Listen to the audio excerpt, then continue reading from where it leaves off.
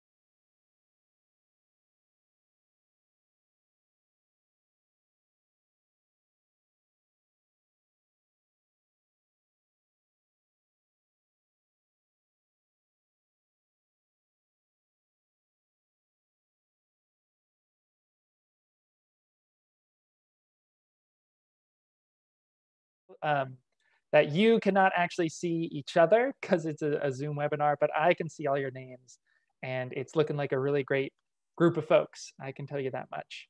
My name is Jamie DeMarco. I'm the Federal Policy Director for the Chesapeake Climate Action Network. My pronouns are he, him, his. Um, and I just want to start by saying this. On March 31st of this year, Biden unveiled his American Jobs Plan.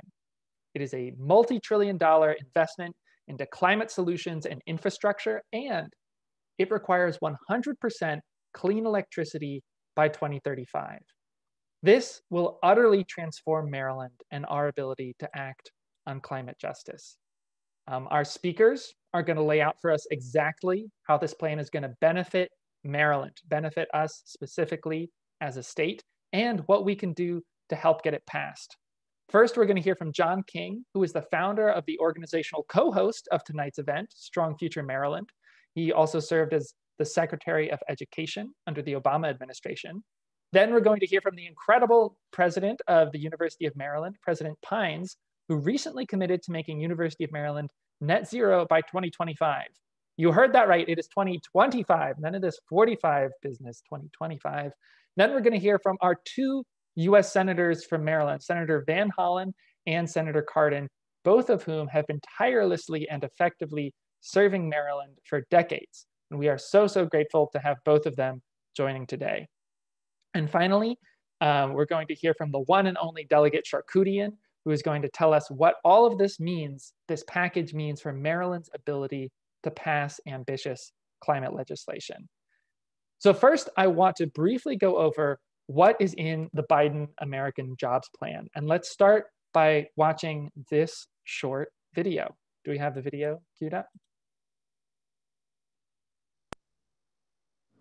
The American Jobs Plan will lead to a transformational progress in our effort to tackle climate change, creating good paying jobs by leading the world in the manufacturing and export of clean electric cars and trucks. The federal government owns an enormous fleet of vehicles, which are going to be transitioned to clean electric vehicles. My American Jobs Plan will put hundreds of thousands of people to work, building a modern, resilient, and fully clean grid. It's the biggest increase in our federal research and development spending on record. It's going to boost America's innovative edge in markets like battery technology. The proposal I put forward will create millions of jobs. And by the way, no one making under $400,000 will see their federal taxes go up, period.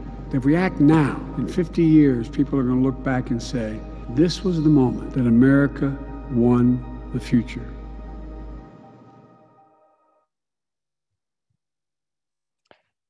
Wow, that was a great video. Really had a lot of content. If you didn't write down all those numbers, that's okay. I'm just going to briefly go over what is in the uh, Biden American Jobs Plan.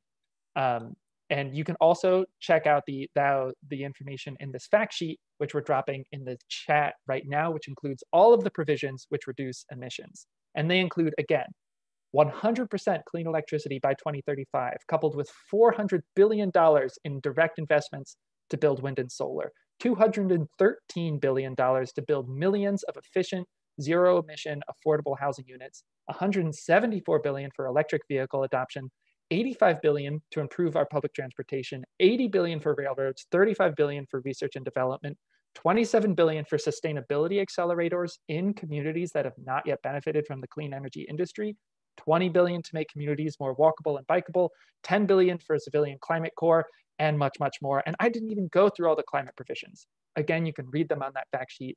The plan also invests 40% of all this money into disadvantaged communities replaces every lead pipe in America, protects the right to unionize, and more. So I want to hear from our guests now about what this means for Maryland. Without further ado, I'm going to kick it over to John King, founder of Strong Future Maryland. Strong Future Maryland is co-host of this event and already a leader in making Maryland a more equitable and low emission state. He also, of course, served as the Secretary of Education under the Obama administration.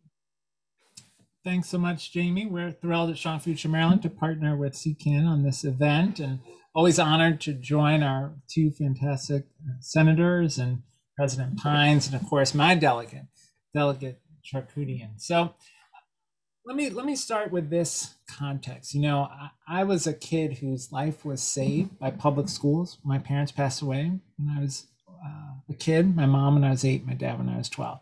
And I've always believed that public institutions can be a force for good in people's lives. And this is a moment where the Biden administration is saying government can be a force for good in people's lives by delivering good jobs and making tremendous progress on climate action and environmental justice. So I'm deeply passionate about making sure this American Jobs Plan happens. It's also an opportunity, I think, for us in Maryland to address some missed opportunities we've had, some missed opportunities to invest in infrastructure, like the terrible decision to cancel the Red Line project in Baltimore City, missed opportunities to leverage our higher ed institutions and our research institutions to drive economic growth in the state, uh, missed opportunities to tackle climate change in a state where we have a huge amount of interior coastland, where we've already got saltwater intrusion on the eastern shore. We've got flooding regularly in, in Howard County. We've got some of the worst asthma rates in the country in Baltimore City. Uh, we've missed opportunities to tackle climate change and environmental justice. This gives us a chance to do big things. A few things that I think are really important about this proposal from President Biden. One, lots of good jobs, good jobs, good union jobs in a variety of industries from uh, building bridges to rail to uh, addressing clean water, which is a huge challenge. The president is rightly focused on the fact that we've got 10 million homes in America that have pipes with lead in them, not to mention 400,000 schools and childcare centers with lead pipes. This is an opportunity to tackle uh, the issue of clean water. Uh, this is an opportunity to build the charging stations we need as we move towards electric vehicles. Uh, this is an opportunity to engage farmers in planting cover crops that will help us meet the challenge of combating carbon dioxide in the air. So there's a lot of opportunity here just to create good jobs. That's job one for this bill. But there's also an opportunity here to tackle the role that schools play in climate change. There's over $100 billion to address upgrading school buildings. There's uh, $12 billion for community colleges, $25 billion for childcare centers. That facilities work can be done in a way that moves us towards the use of geothermal for heat, moves us towards the use of solar for power, um, moves us towards the creation of kitchens in the facilities so that we can we can prepare food in ways that make more sense for people's health and the health of our environment. Uh, there's also an opportunity here to improve workforce development, to make investments in our higher ed institutions and job training programs, to prepare people for good green jobs in renewable energy, good mitigation jobs like weatherization, uh, which, which we know will be critical, and electrification, uh, which we know is critical to help us get to net zero faster. Um, there's also an opportunity here to help people transition from old jobs that are going away to new jobs that are actually better for them and better for the environment. So we know coal fired power plants are going away. Uh, and what we need to do is make sure the folks who work there have access to good jobs. There's actually funding dedicated in the American Jobs Plan, $40 billion for a dislocated workers program that will provide job training so we can help people successfully transition. There's also targeted funding for violence prevention and programs for folks who are formerly incarcerated. Think about the opportunities to help folks who don't have access to, to uh, good jobs, can't support their families now, to get the training they need to enter into good green jobs that then allow them to successfully support their families and help us build stronger, safer communities. There's also funding here targeted to HBCUs. We know we have a troubled history in the state around uh, providing adequate resources to our HBCUs. This bill includes provisions to create centers of research excellence at HBCUs. There's a lot to love about this bill, but there's even more. There's a commitment to the conversion of 20% of the bus fleet to electric. And, and we know we have 480,000 school buses in, in the United States. They are today contributing to air pollution.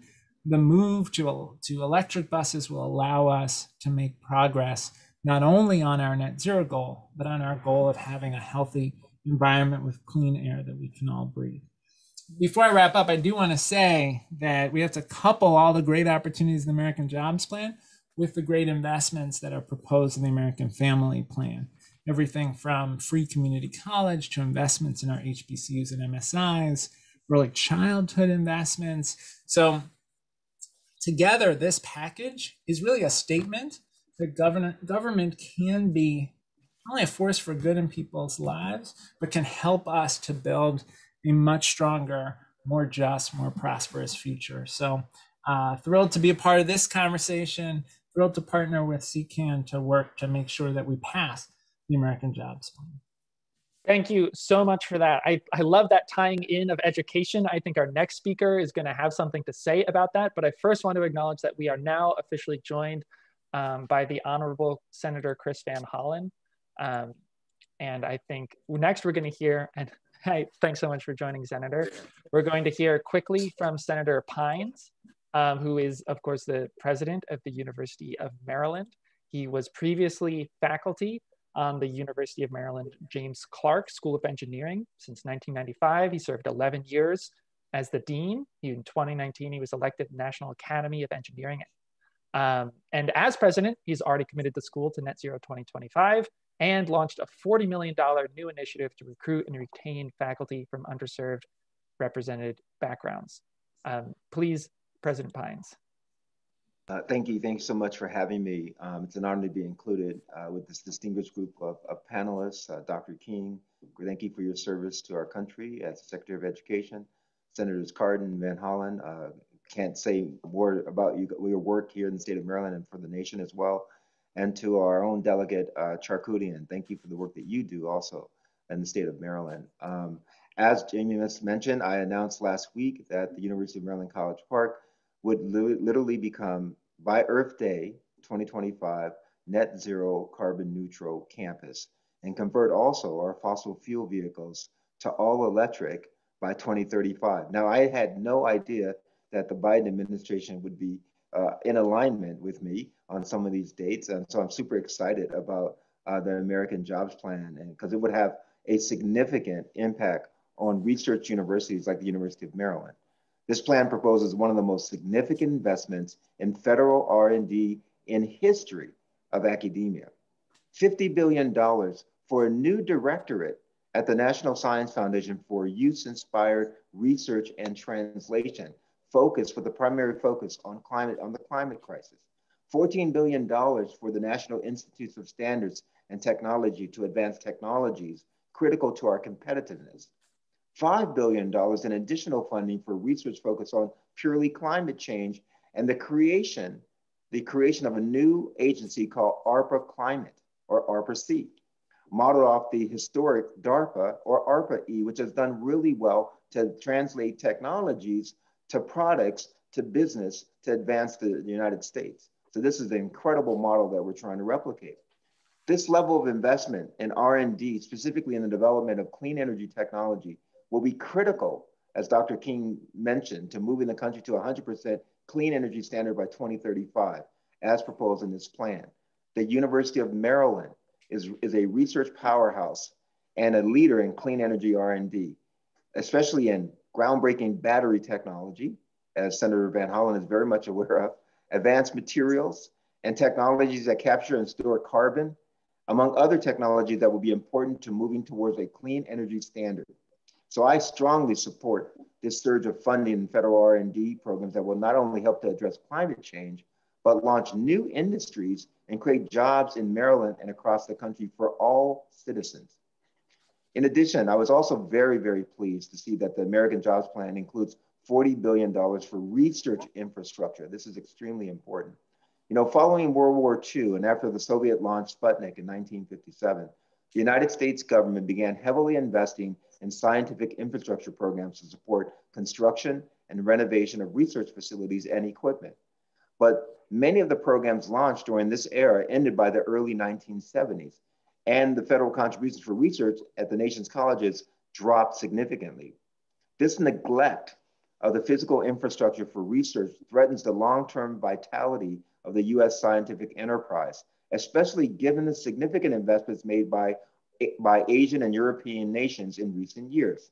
Just to provide one example, one example, Congress supported a program called the NIST Construction Grant Program at the National Institutes of Standards and Technology in 2009 during the Obama period for the stimulus bill.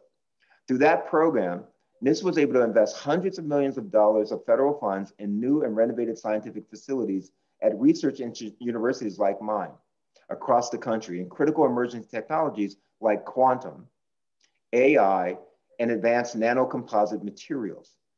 Now, awardees for these funds reported that they were to, they hired an additional 114 researchers. They submitted 201 patents, and they had an additional 82 new patents under development. At the University of Maryland, I'm just going to tell you why this is so important, this, this little program at NIST on infrastructure. We received a grant through this program to complete our physical science complex, which houses our joint quantum um, institute with quantum laboratories. If we did not get those stimulus funds back in 2009, today, the firm called IonQ, which was started and translated from labs of research in our quantum facilities, which is now the first pure play, publicly traded quantum computing firm in the, in the world, right here in College Park, right here at the University of Maryland, right here in the state of Maryland. Now, why is this important to the climate situation? One of the challenges in modeling climate physics is the computational power you have. It turns out today's supercomputers are just simply not fast enough nor comprehensive enough to allow us to do the full modeling to come up with climate solutions. This new technology of quantum computers can do it in milliseconds. And so this is going to advance solutions to climate. This is why investment in research infrastructure is so important and why the American Jobs Plan is so critical to invest in research universities like the University of Maryland and to advance even the own state of Maryland's interests and climate research to help advance our climate solutions. So quantum is important. and we're uh, very happy. And we, so we hope Congress will again support funding scientific infrastructure, which is a key to addressing the biggest challenges of our time, including climate change, and as Dr. King mentioned, uh, developing the workforce of the future and launching new industries right here in the state of Maryland and in the United States. Thank you. Thank you so much, President Pines, for laying out how the last stimulus is paying dividends today. Can't wait to see 10 years from now what this stimulus um, pays out to be. And now it is my great honor to introduce the incredible Senator Chris Van Hollen. He is a tried and true climate champion, as well as a champion on other critical issues. He now serves on the all important Finance Committee in the US Senate. And we anticipate he's going to have a big hand in crafting and enacting the American Jobs Plan. His policy expertise and leadership skills make his role in the Senate absolutely indispensable. Please welcome Senator Chris Van Hollen. Well, Jamie, thank you. It's great to be uh, with you and with Kirsten and Mike uh, and the entire CCAN team. And let me start by thanking all of you at CCAN for really putting Maryland uh, on a map uh, as a leader in our effort to uh, cut carbon emissions um, and move to a sustainable energy uh, future. And our goal now is to make America follow Maryland's example that you have set for it, including uh, Delegate Charkoudian, thank you for your leadership um, as part of that effort. And I want to say to President Pines, thank you for your great leadership at University of Maryland, including your recent announcement about your um, your carbon pollution reduction goals and your your, your net emissions uh, target. Um, that's leading by example, and we're grateful for all the work uh, that you're doing. Uh, to Secretary John King, uh, thank you for all you did uh, as Secretary of Education and your continuing contributions to our debate in so many, many uh, areas. And I know we're going to be joined later by my partner and colleague, Ben Cardin. And, and, let me just say, Jamie, so I'm on the Appropriations Committee. We spend the money. Ben's on the Finance Committee where they raise the money. I'm also on the Budget Committee, uh, though, and Banking and Housing. So between us, we do cover uh, all the key touch points when it comes to climate change. Now, uh, Senator Cardin and I, a uh, little earlier today, uh, we were together uh, at M&T Stadium with the Vice President of the United States, uh, Kamala Harris, uh, where we talked about the accomplishments of the last 100 days, including over 220 million vaccines in arms. But we said that we're just getting started. And while we pull out of this emergency, we really have to do the better part of the Build Back Better in the Biden plan. And that, of course, is what uh, the president spoke about last night uh, in the joint session of Congress. Um, it was refreshing uh, to have a, a, president of the United States there who understood the huge threat uh, we're facing from climate change, but more importantly, the huge opportunities we have. I mean, we know the costs of inaction are staggering, but we also know the opportunities for action are great. And that is why the president is so focused on jobs, clean energy jobs. And that's why he's rolled out uh, a program uh, to get us there in the American uh, Jobs Act. I'm not going to go through all, all the details of that plan. I'm going to tick off a couple things, um, including he has a 10 year extension of very important tax incentives for clean energy generation, storage. Uh, President Pines mentioned that the battery storage is such an important piece. China has been way ahead of us. We need to catch up and get ahead.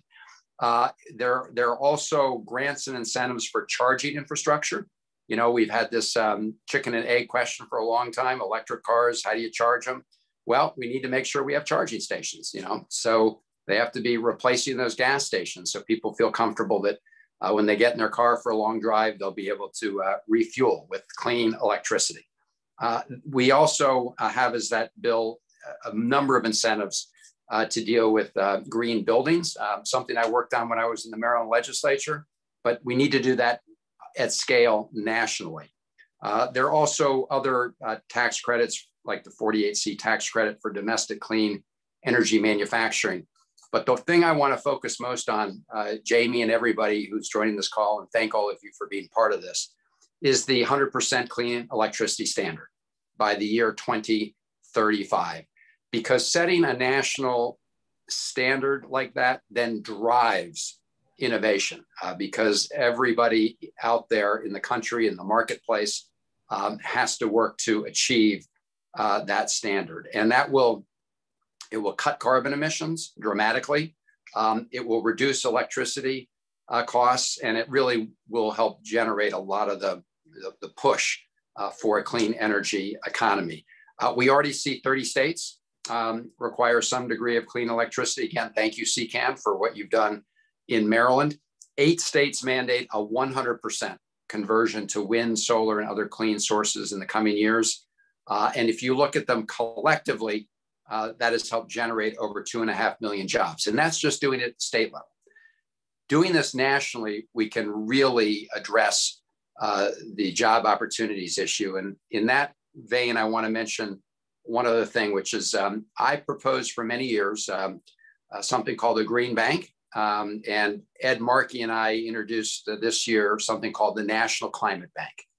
What is that? Um, it's a it's a national financing um, engine uh, that would be very focused on clean energy projects, but also helping uh, in communities that have been left behind and have been the most victimized by pollution uh, in our country. And so it's estimated that for every dollar we put in this uh, green bank or national climate bank, or now we're calling it just a clean energy accelerator, every dollar you put in that will generate about five to seven dollars of private investment again channeled targeted toward our goals um, now there are some clean uh, energy, uh, these accelerators in Maryland already. Um, Montgomery County was one of the actually earliest jurisdictions in the country uh, to launch one. But taking this to scale, we need to do it at the national level. And I am pleased that the, the Biden plan uh, has about $30 billion in it, the American Jobs Plan. For this purpose, we'd like to get it to $100 billion. Finally, I want to thank CCAN and especially Mike Tidwell. He and I have teamed up for years uh, to pass a cap and dividend bill uh, that would effectively put a price on carbon, but address the very real concerns about higher costs for certain uh, families um, by rebating 100%, dividend, taking that dividend from taxing the big polluters and using those funds to return to every American uh, with a social security number. Now, this is not part of the Biden plan right now. I don't know whether this will fit in along the way, but I do want to thank uh, CCAN for having pushed this idea because at the end of the day, like a clean energy standard, having national national signals, whether through standards and or price on pollution, um, we we can get there faster uh, along with these other important investments. So let me let me end there. Um, I'm happy to try and answer any questions, Jamie. Thank you for all your your work as the outreach uh, director for CCAN. Uh, well, we are so glad to have you, and we are also joined um, now by Senator Cardin, who we will get to hear from in a moment. But first, Senator uh, Van Hollen, we have some questions coming in in the chat, and this first one is part of a kind of a two-part question what aspects of this can of the American jobs plan um, do you think could pass through reconciliation if necessary? And what parts do you think would pass through your committee, the Appropriations Committee? Well, um, very good question. And Senator Cardin and I were just at a meeting earlier today with some of the other members of the Senate Democratic Caucus, you know, talking about different options. Um, you know, we agree with President Biden that uh, we should try to get Republicans on board if possible, because if we do, then you don't have to go through reconciliation and you don't um, have what we call Byrd droppings, which are the provisions uh, that Senator Byrd um, said were not compliant uh, with reconciliation. Certain policy provisions could potentially drop out. So, for example, we're going to have to be very creative about trying to get a clean energy standard through the reconciliation process, which is why it's best if we can get more Republicans on board. But at the same time, I think we've heard from people like Mitch McConnell. I, I must say I'm I'm not a I'm, I'm an optimist usually, but not necessarily an optimist here. So we do need to begin now to plan on how we're going to go through the reconciliation process, even as we work to try to bring Republicans on board. And, and the simple answer, and it's the this is all a question for the parliamentarian at the end of the day. She becomes the most popular and and powerful person uh, in the Senate. Is if there's a, a, a nexus to the budget, um, then and and if that's the main thing, so investing in in certain areas uh, is, is budget related. Um, if it's an existing sort of tax structure, you can certainly grow it. Um, where where you get in trouble is if the budget purpose or the tax purpose is seen as really tangential to a larger policy purpose.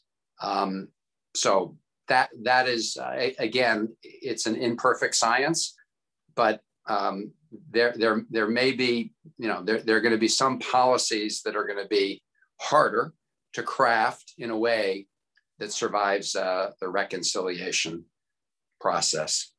Just for the record, my view is we should just get rid of the filibuster and, and not worry about uh, these kind of carve outs um, for our, I think we should allow democracy to work its will. Well, we agree completely with you on the filibuster front. What do you think Marylanders can do to help this pass and help it pass in the strongest version. Things like getting that green, uh, that ex- energy accelerator up from 30 billion to 100 billion. I think the main thing you can do is, you know, reach out to your your allied groups um, around the country, uh, develop an agenda as to what your, you know, top priorities that you want to focus on uh, would be, um, and then, you know, get people to unify uh, and press their their senators uh, to do this. Um, and as we're as we've been talking, there's sort of the, the dual strategy. I mean, uh, you know, we, we'd like to get Republicans on board, but we're not going to wait forever, just like we didn't wait forever on the American Rescue Plan. I mean, if we waited to get, you know, you know, a filibuster-proof majority, we would we would not have the American Rescue Plan in place today. So, you know, sooner rather than later, we need to shift toward uh, reconciliation. And what all of you can do then is focus on getting the Democratic Senate caucus um, all in a good place uh, in a positive way. Thank you, Senator. I know you have a hard stop at 7.30, so we can let you join. Thank you again so much uh, for all the work that you do. well, it's great to, great to be with you. And, and thanks so much uh, to you and everybody. This is a, a great moment of opportunity for our country. We just need to seize it. So thank you. Thank you. And next, I just can't believe how lucky we are to be joined not by one, but two Maryland US senators. Next, I get to introduce Senator Ben Cardin, who is a top leader in the US Senate and serves as the chair of the Transportation and Infrastructure Subcommittee of the Environment and Public Works Committee. So, in his role as that committee chair, we think he's going to have a very big uh, role to play in shaping the Biden American Jobs Plan. Um, Senator Cardin is joining by phone tonight, so you're not going to see his video. Um, but Senator, I think, oh, you are, here you are. Oh my gosh. We're so glad to see your face. Senator, I can turn it over to you. I'm sorry to disappoint you to be in person. But... No, we're thrilled you're here in person. Well, virtual person.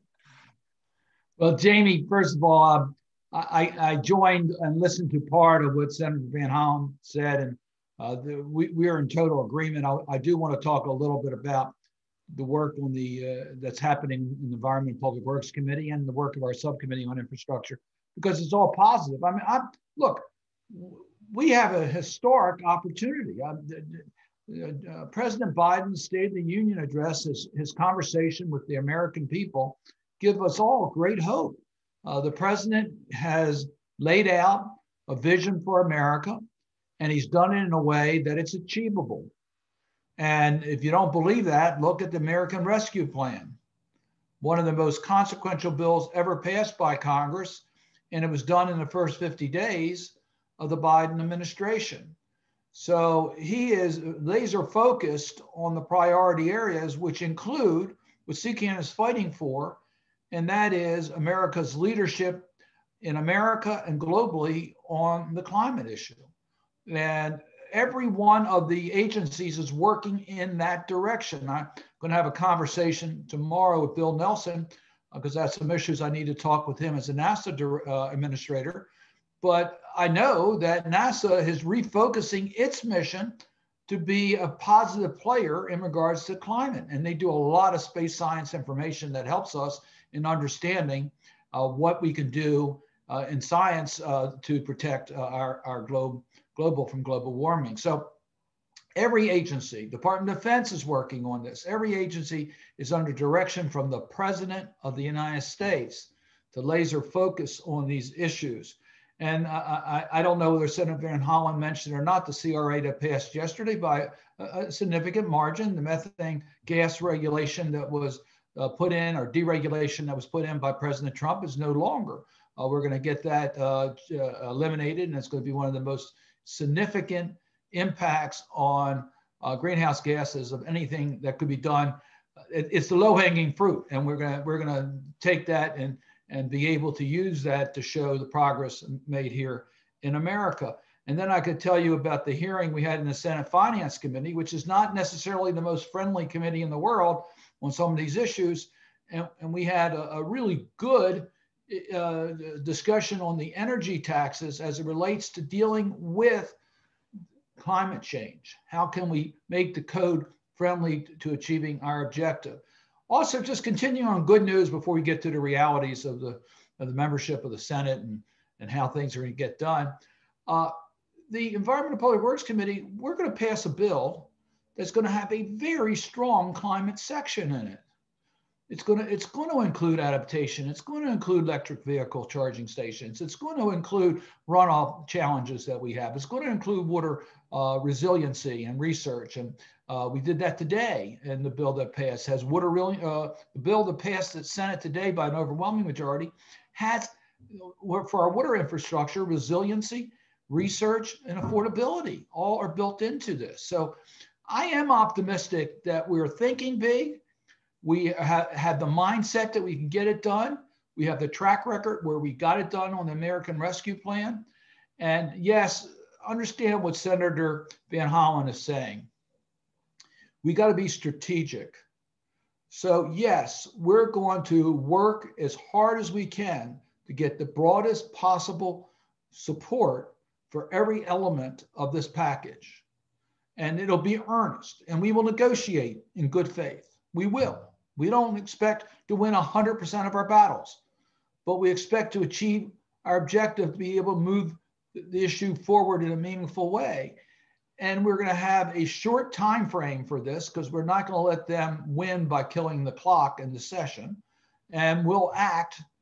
And that's where it's important for us to have the unity of every member of our caucus if we're going to need to move on a partisan basis, which we were, which we were required to do under the rescue plan and may very well be necessary in regards to a significant part of the other two packages, the American Jobs Plan and the American Family Plan. So you all know President Biden's uh, leadership of what he did by executive order, what he did by uh, convening the climate summit, what he did by uh, the, his commitment on, on where we're going to be in 2035. I could go over all that with you and how we're going to get there.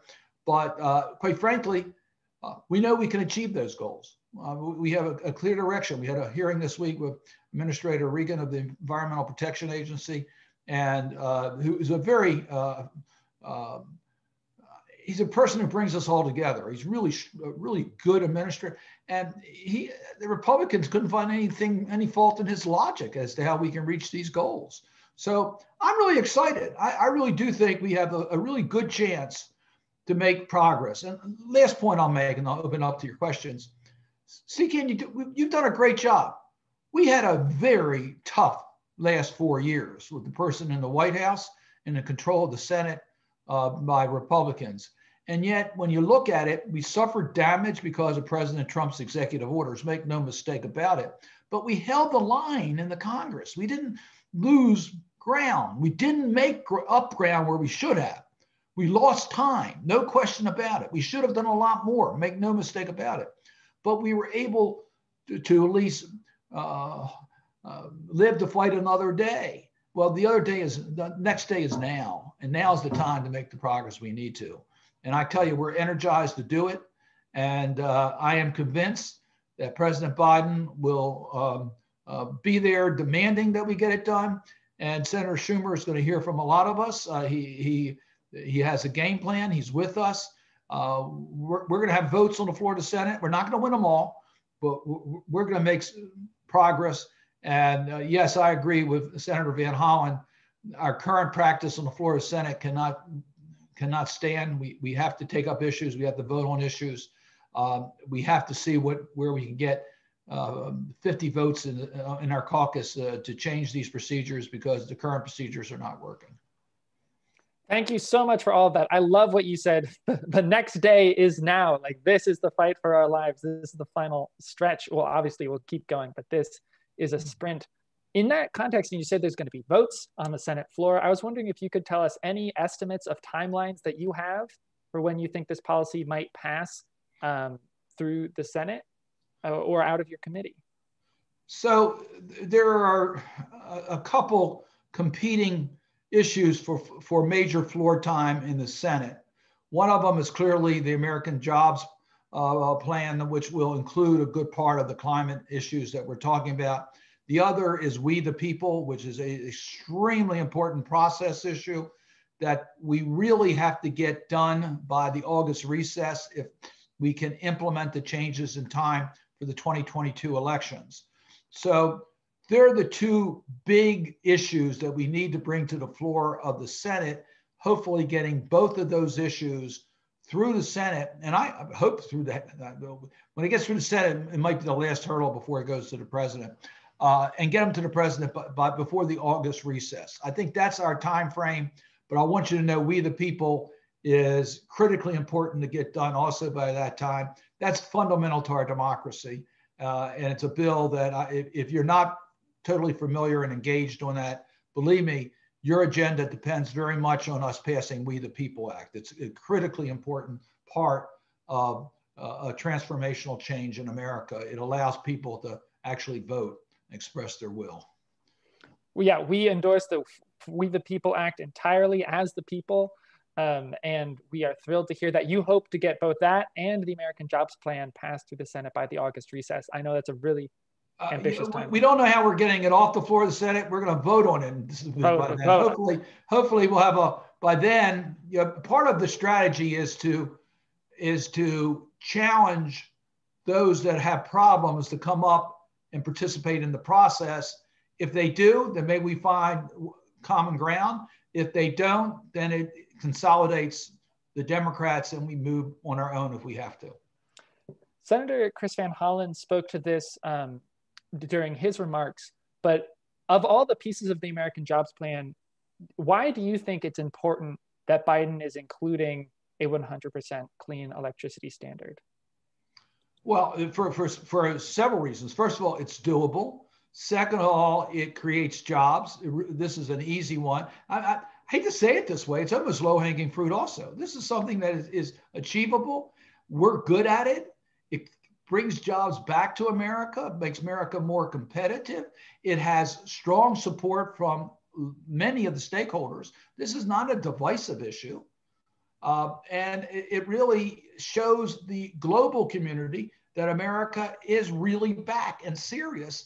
And it puts much more pressure on the other emitter, major uh, emitters of the world, countries, to really step up to the plate and do something. So it puts pressure on China, puts pressure on Russia, puts pressure on the EU. EU's already has a pretty strong plan, but it puts pressure on some of the major country, uh, countries in our own hemisphere.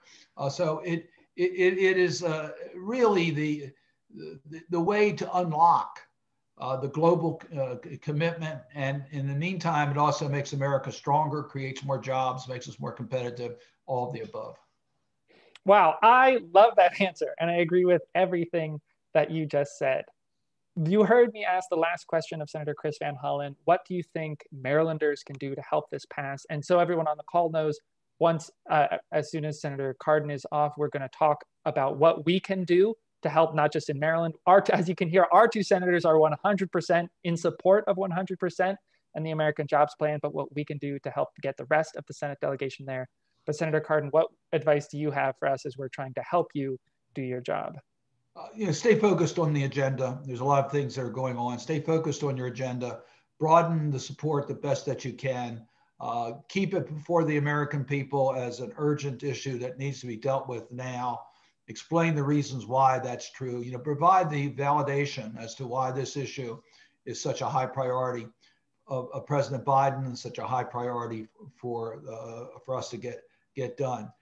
Uh, and then I want to tell you, just urge you to reach out uh, to our um, uh, to, to, our national stakeholders who are all part of this coalition uh, to get the this once in um, easily a generation opportunity uh, to move this nation to where it needs to be, whether it's in the voting systems, whether it's in infrastructure, whether it's in uh, fairness in our tax code, whether it's dealing with systemic uh, challenges and racism. This is our once in a, a generation time. Recognize that at the end of the day, we need to be strategic. And I give you by way example the American Rescue Plan. Now everybody's celebrating today we got that done. There was a moment when we were negotiating, negotiating and lost on the $15 uh, minimum wage, and we had uh, some problems about providing funds in some directions that people weren't totally happy we almost fractured. We almost lost that. So don't let us get fractured. Don't draw a line where we can't win. Respect the talent of Nancy Pelosi, of Chuck Schumer, of President Biden. Respect their talent here and give them the space they need to produce results. Now, if we don't produce results, it's fair game, but give us the opportunity to produce results and give us the space that we need. But your job is to say, this is what we need. Push the envelope as far as you can. Don't compromise among yourself, but recognize that if we are able to reach some agreements, or we do a strategy that may divide some of these into different parts, that decision has not been made yet or not. Believe me, it has not been made. But as that's the only strategy we can get to keep unity in our caucus, then be understanding of those decisions when they're made real time so we don't become fractured. Well, thank you so much, Senator Ben Cardin. I know you have an event after this. Your, your schedule also is, of course, packed. Uh, so we, we were just so thrilled to have your presence with us tonight. My pleasure. And again, thank you all for what you're doing. Stay well, everybody. You too. Um, well, we're going to take that charge seriously to keep this a front and center issue in the American people's mind. And to help us do that, I'm going to turn it over to Quentin Scott. Thank you, Jamie, for that introduction. Um, so we've been talking tonight about the American Jobs Plan, which is an historic investment to reimagine and rebuild a new robust economy. We've already heard so many exciting aspects of the plan from both our senators and panelists. We've been building towards this moment for the last 20 years. Now we have the right people in place to tackle this climate crisis head on. So the question now, as Jamie has been asking both the senators, what can Marylanders do? We need you to join the fight and make calls to your fellow Americans in places like West Virginia. If you've been watching any cable news, you know Senator Manchin is a key pivotal vote uh, for the American Jobs Plan. We need to make sure that West Virginians are speaking up and letting Senator Manchin know the American Jobs Plan is good for all of us. CCAN is partnering with organizations in West Virginia, conducting daily phone banks to talk with voters about the importance of infrastructure and climate. I have included a link in the chat so you can sign up now. Your calls will make a tremendous difference and help pass the American Jobs Plan. This is our moment. Let's do everything we can today and build a better tomorrow. I'll see you on the phones. Sign up now. Um, thank you for that, Quentin. Yes, we're not just going to sit here and congratulate ourselves about how great we are. We're going to get roll up our sleeves, pick up the phones, and get to work. So please, if you want to help get this passed, the number one thing we can do is get West Virginians to talk to Manchin, and the number one thing you can help to do that is to uh, click that link that Quentin shared. Now, um, we're honored to be graced by the presence of Delegate Charkoudian. Um, many of the programs you're hearing about tonight are going to be administered by the states. The federal government will often allocate money to certain issues and then charge the states with determining the best way to use those funds. And with all due respect to the senators we just heard from, in terms of lawmakers, we may have saved the best for last. Mm-hmm. So to tell us more about what we will suddenly become possible in Maryland with the American Jobs Plan, we have Delegate Charkoudian, who does a great job of representing Montgomery County's District 20 in Annapolis. Anyone who has worked with her can tell you she is a one in a million legislator who consistently passes groundbreaking climate bills. Delegate Charkoudian, I'll turn it over to you. Thank you. Thank you. It's such an honor to be here. And thank you to CCAN and our senators and President Pine and Secretary King.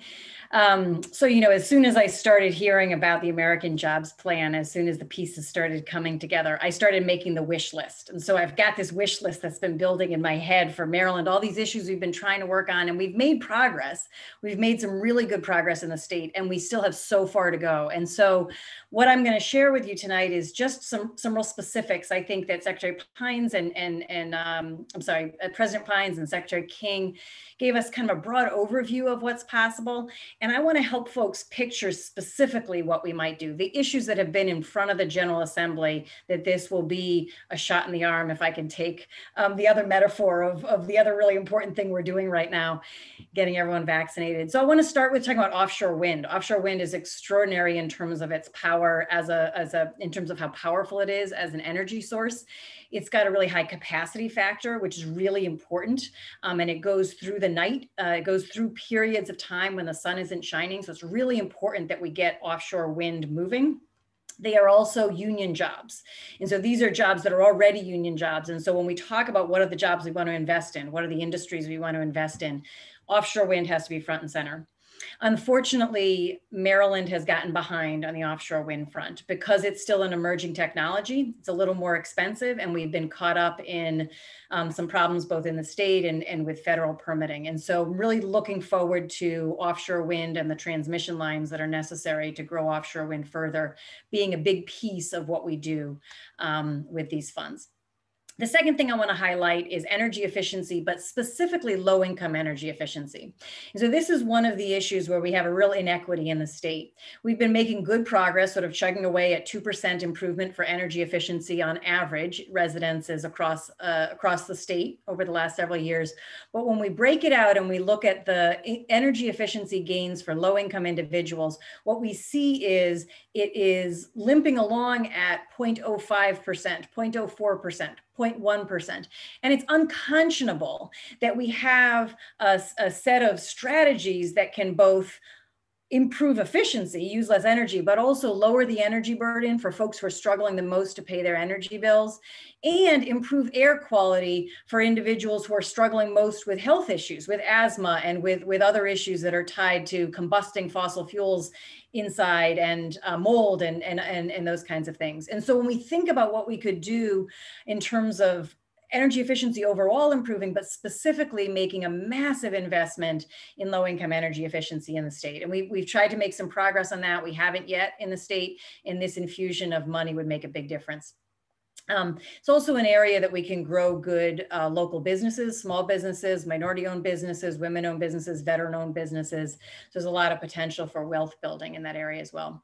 When we look at public transit, um, we can really move uh, so much in this area in terms of equity and emissions.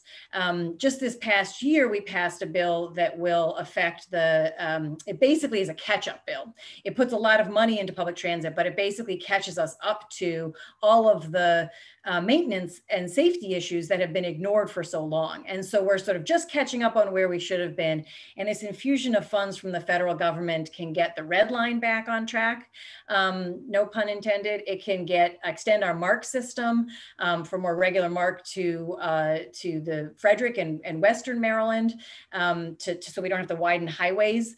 Um, so we can take widening highways off the off the table. Um, Southern Maryland, uh, there's a real need for for rail and better transit um, into Southern Maryland and um, and uh, also to electrify the fleet um, more generally across the board. Um, I want to talk a little bit about decarbonizing buildings. Uh, that was that's been mentioned. Um, again, here's an area where geothermal, and we just passed a big geothermal bill this year. Again, union jobs on the bigger projects, um, really important. We work together with with folks fo focusing on equity, focusing on union jobs, um, and decarbonizing buildings. And there's a lot more that we can do with that. Looking at the overall um, uh, natural gas grid and actually transitioning the natural gas grid to district geothermal systems. Massachusetts is looking at some pilots in this area, and it's the kind of thing that if we had a major federal investment, um, we could really start exploring that in the state. Uh, on the issue of grids, the Public Service Commission is starting to look at the issue of the, the of, of planning around the distribution grid if we invest more in the distribution grid, we can do more to both ensure that we have resiliency and reliability, which are issues that Texas really has highlighted for us. The need to make sure we're doing those investments right. Um, but also we can optimize our distributed energy resources, our solar and our storage, making sure that we're targeting those to the communities where then we can be most likely to, for example, um, shut down coal plants, um, targeting those to the communities that need resiliency um, because they have sort of weaker systems and do that in a way that uh, minimizes costs to ratepayers some really interesting work we can do there. And finally, I just want to mention that we have um, teed up this year, we passed legislation to tee up um, the Maryland Clean Energy Center as a green bank. So it's ready and waiting for the federal funds for, for green bank funds um, and it will be in a position um, to really be able to take those funds and then support the leveraging of the private capital uh, for, for green investments in the state.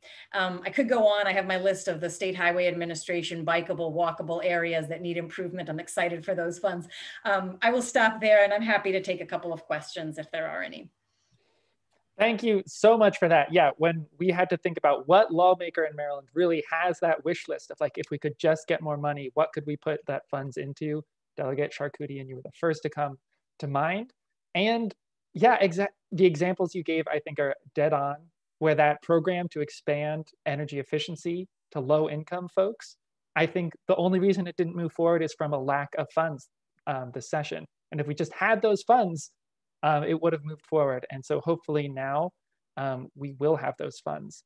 If folks have questions for Delegate Charkoudian, um, uh, feel free to put them in the chat and we can ask them of the delegate. But first, I want to cut to a 15 second video of President Biden at his incredible speech last night to a joint uh, session of Congress, um, speaking about 100% clean electricity um, he uses the words, it's important to fully clean the grid.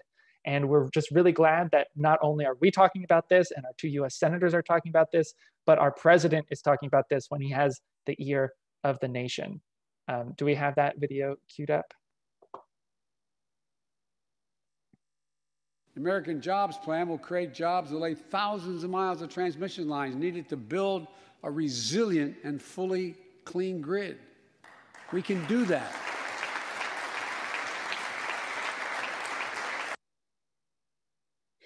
Beautiful, beautifully put. Uh, we can do that, just like Senator Cardin said. That is now low-hanging fruit, what used to feel like it was impossible.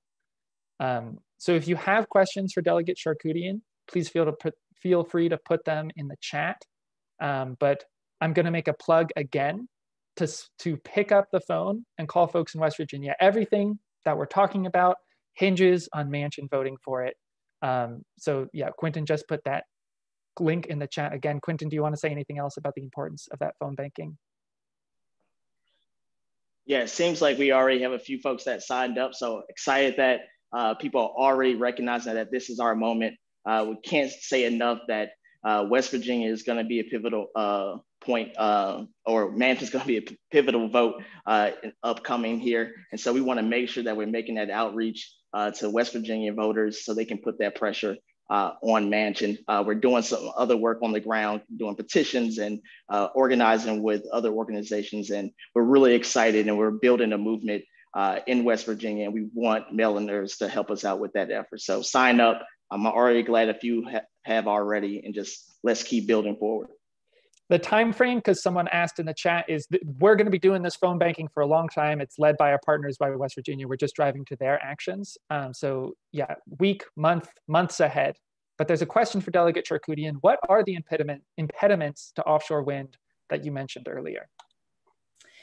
Yeah, so two uh, two things that I would highlight. The first is that um, for the 400 megawatts that was approved, like now, I don't know, almost eight or nine years ago, um, they have just been slow walked for a number of reasons. Our current governor in Maryland uh, and the Maryland Energy Administration really have been pandering to um, the folks in Ocean City who have been trying to block it. And so combination of um, sort of maneuvers with slowing things down at the Public Service Commission, um, which has then also in, in my mind sent sort of a negative message to offshore wind developers about how friendly or unfriendly, as the case may be, Maryland is to offshore wind. So, um, so that's a piece of it. Um, we've sort of worked through a lot of that. Um, and then we have an additional challenge of uh, at, the, at the federal level, under uh, the previous president, uh, we had uh, there were some there were some permitting issues. So that is all being straightened out and streamlined and moved very quickly. Um, but in the meantime, while you know the Public Service Commission, uh, the, the, administration, the Maryland uh, Hogan's administration have been slow walking um, this first 400 megawatts, the General Assembly approved another 1,200 megawatts. Um, and that is in the process of being bid on right now at the Public Service Commission. So in the next few years, hopefully that will grow. Um, and so we should be proud of that. But while we've been moving on now to try to get to roughly 1600 megawatts, we've got uh, Virginia and, and New Jersey moving forward with 6,000, 7,000, 9,000 megawatts of offshore wind and really demonstrating to us what's possible in the mid-Atlantic region. Um, and so I think it really um, uh, challenges us in the state to one, address some of these administrative pieces that the, you know, getting the, the governor to step aside and let the process move forward. Um, but the other is as a, from a broader policy perspective um, at the General Assembly, really moving. I think we can do so much more than, than 1600 megawatts. Um, and then a piece of it is the transmission lines, which it's, it's kind of cool that that was the, I mentioned that, that that was the clip that you picked because we do need probably, I, would have to look at what exactly the numbers are, but to, you, as you build more and more offshore wind, we don't have the transmission lines necessarily to bring that into the state. So that has some PJM planning sort of pieces as well, but it's all very doable. Well, thank you for that. That's just about all the time we have in our last 60 seconds. I just want to thank everyone for joining. I want to thank our, our panelists again um, and everyone who participated in this 100% clean electricity by 2035 is the linchpin to rapid decarbonization, especially when coupled with a plan like the American Jobs Plan or the Thrive Agenda, which was introduced today. These are going to be game changing investments for Maryland. And it's going to make a profound influence on our state and likely impact your quality of life. I know maybe I'm hoping to get a sidewalk in my neighborhood from all this funding to walkable communities. Um, I hope we can all get something out of this. Let's go win the American Jobs Plan. Let's get this thing passed. Thank you, everyone.